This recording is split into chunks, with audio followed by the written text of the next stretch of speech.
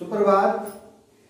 प्यारे बच्चों, आज हम कक्षा तीन, विषय संस्कृत पाठ आठ अष्टम पाठ संप्रदान कारकम। संप्रदान कारक।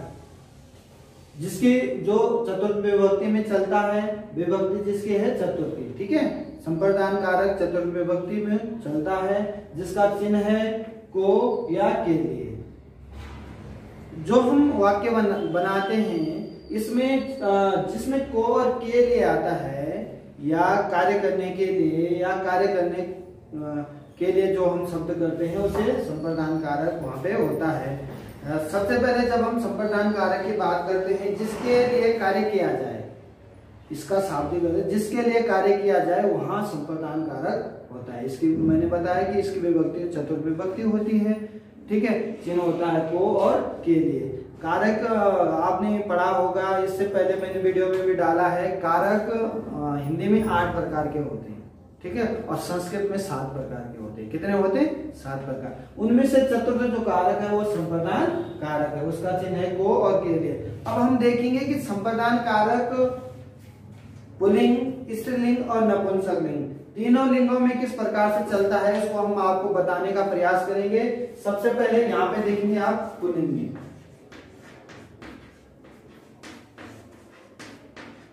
पुलिंग में चलता है एक वचन द्विवचन और बहुवचन में। सबसे पहले एक वचन द्विवचन और बहुवचन एक वचन में किस प्रकार से चलता है? जैसे शब्द है हमारे पास, शिक्षक शब्द है।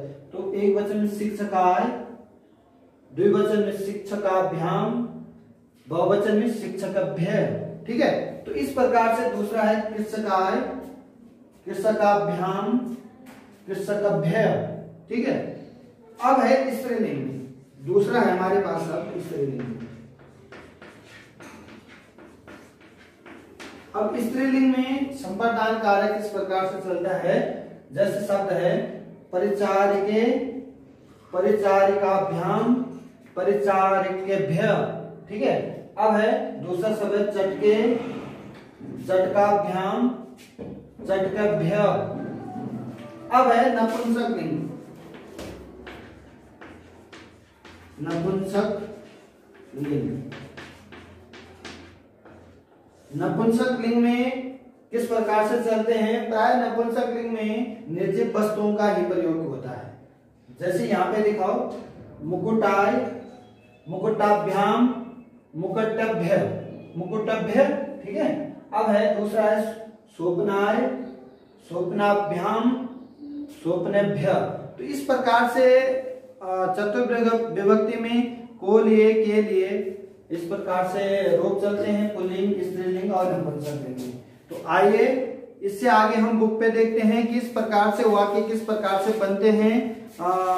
चतुर्थ विभक्ति में संप्रदान कारक में आप मेरे साथ बुक पे देखेंगे, ओके?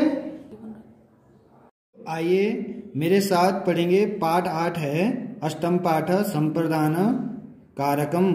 चतुर्थ विभक्ति के अंदर चलता है, मैंने आपको भी बताने का प्रयास किया, कोर के लिए इसके चिन्ह हैं। ठीक है? ये किस प्रकार से पुलिंग स्त्रीलिंग और नपुंसक लिंग में चलते हैं, ये मैंने आपको समझाने का प्रयास किया। अब आप देखेंगे कि इस प्रकार से चतुर्थ विभक्ति में वाक्य बनते हैं और के लिए और को के प्रयोग से किस प्रकार से वाक्य बनते हैं, ठीक है? आप देखेंगे, अध्यापिका छात्राय पारितोषम यच्छति। अध्यापिका छात्रों को पुरस्कार देती है, पारितोषित तोषम का अर्थ है पुरस्कार, ठीक है? देती है तो छात्र अध्यापिका छात्रों को पुरस्कार देती है। को शब्द आ गया? ठीक है? दूसरा है, सा बालिकाभ्याम मिष्टानानी यच्छति। सा मतलब वह बालिकाभ्याम मतलब बालिकाओं। बालिकाओं, एक से अधिक बालिकाओं की बात मिष्टानान मतलब मिठाइयाँ देती है। वह बालिकाओं के लिए मिठाइयाँ देती है। तो के लिए आ गया। चतुर्विभक्ति आ गए अब है, आगे देखेंगे और सेंटेंस अम्बा पुत्राय भोजनम पचती। अम्बा मतलब माता। पुत्राय मतलब पुत्र के लिए एक चतुर्थ विभक्ति हो रही के लिए शब्द आ रहा है। भोजनम मतलब भोजन, पचती मतलब पकाती है। माता पुत्र के लिए भोजन पकाती है। तो के लिए आ गया। पिता बालिकाय पुस्तकम आनयति। पिता, बाल बालिकाय मतलब पुत्री के लिए पुस्तक आनयति मतलब लाता है। तो के लिए आ गया? पिता, पुत्री के लिए पुस्तक लाता है। के लिए क्या हो गया? चतुर्थ विभक्ति इसमें क्या है? चतुर्थ विभक्ति है। अध्यापक छात्रा है। छात्राय पारितोषम यच्छति। अध्यापक मतलब शिक्षक, अध्यापक छात्राएँ मतलब छात्र के लिए पारितोषम मतलब पुरस्कार देता है। यक्षति मतलब देता है। पारितोषिक का अर्थ मैंने बताया, पुरस्कार। ठीक है? अब आगे देखेंगे। छात्रा पठनाय विद्यालय गच्छति। छात्रा मतलब छात्रों के छात्र पढ़ने के लिए, पठनाय मतलब पढ़ने के लिए, चतुर्विभक्ति है पठनाय में। विद्यालय विद्यालय गच्छति मतलब जाते हैं तो छात्र पढ़ने के लिए विद्यालय जाते हैं, के लिए आगे इसमें? छात्र पढ़ने के लिए विद्यालय जाते, के लिए? चतुर्विभक्ति। निरपहा, याचकाय, धनम, यच्छति मतलब निरपा, निरपाह याचकाय धनम यच्छन्ति। मतलब निरपा मतलब राजा। निरप मतलब राजा। ठीक है? याचकाय मतलब भिकारी के लिए धनम मतलब धन, यच्छति मतलब देते हैं। तो याचकाय का मतलब होता है भिकारी जो याचक होता है, जो मांगने वाला होता है। ठीक है? राजा भिकारी को धन देते हैं। तो को आ गया इसमें? माता पुत्राय दुग्धम ददाती। माता पुत्र के लिए। माता पुत्र के लिए। पुत्राय मतलब पुत्र के लिए चतुर्विभक्ति है। दुग्धम मतलब दूध, ददाती मतलब देती है। अब आगे देखेंगे। अध्यापकम अध्यापक छात्राभ्याम ज्ञानम यक्षति अध्यापक छात्राभ्याम मतलब बहुत से छात्रों की बात हो रही। छात्रों छात्राभ्य मतलब छात्रों के लिए छात्रों को ज्ञान देता है। ज्ञानम मतलब ज्ञान, यच्छति मतलब देते हैं। अध्यापक छात्रों को ज्ञान देते हैं। बहुत से छात्रों की बात हो रही है। छात्र एक वचन है, छात्रों बहुवचन है। ठीक है? वयम मालाभ्यम पुष्पाण त्रोट्याम याम, त्रोट्याम। तो वयम मतलब हम सब मालाभ्याम मतलब मालाओं के लिए, मालाभ्याम मतलब चतुर्विभक्ति। एक से अधिक मालाओं की बात हो रही है। मालाओं के लिए पुष्पाणी मतलब फूल त्रोटियाम मतलब तोड़ते हैं। ठीक है? अब है आगे, जनक पुत्रभ्यम, फलानि ददाति।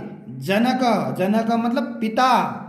पुत्रभ्यम मतलब एक से अधिक पुत्रों की बात हो रही है। पुत्रों पुत्रों की बात हो रही है। जनक, पिता, पुत्रों, ठीक है?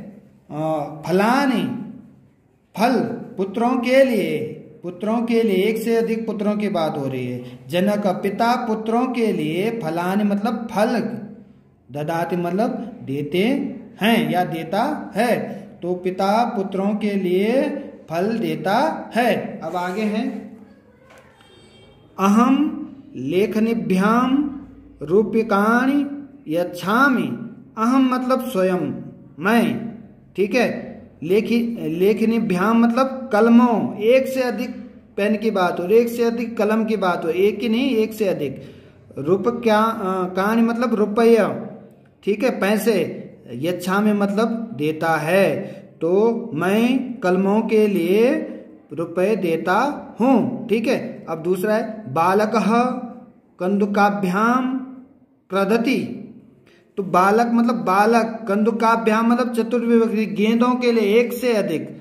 बॉल, जिसको हम बॉल कहते हैं, बाल कहते हैं, बालक मतलब गेंदों के लिए रोता है, क्रदति मतलब रोता है। दूसरा है राम